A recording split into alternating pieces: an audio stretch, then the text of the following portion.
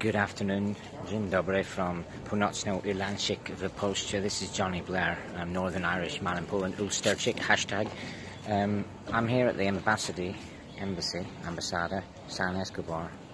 Look at that, San Escobar, the country that doesn't exist. They've got the embassy here, which is a bar. This is Świdnica. Just have a look at this. I'm absolutely overawed by the beauty of this little town. I woke up this morning, I had no idea I was coming here, but here I am in Świdnica.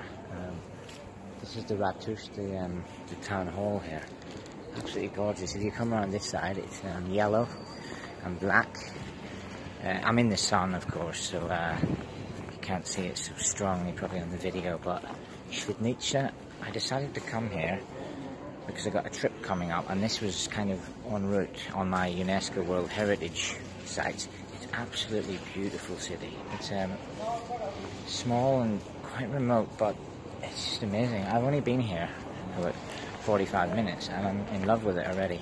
Um, so Świdnica, uh, come and see it, and also it's got the UNESCO um, World Heritage Site, the uh, Peace Church, which is my next port of call before uh, I leave pretty Świdnica.